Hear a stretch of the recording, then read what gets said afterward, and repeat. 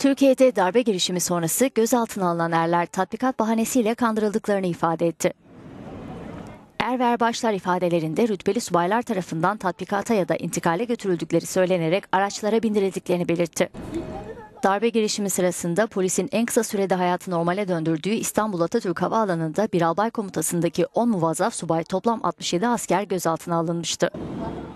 Gözaltındaki erlerin ne zamanki halk gelip tankların üzerine çıkmaya başladı, gerçeği o zaman anladık dedikleri öğrenildi. Halkın darbe girişiminde bulunan askerlere tepkisini ise bazı yerlerde polis araya girerek önledi.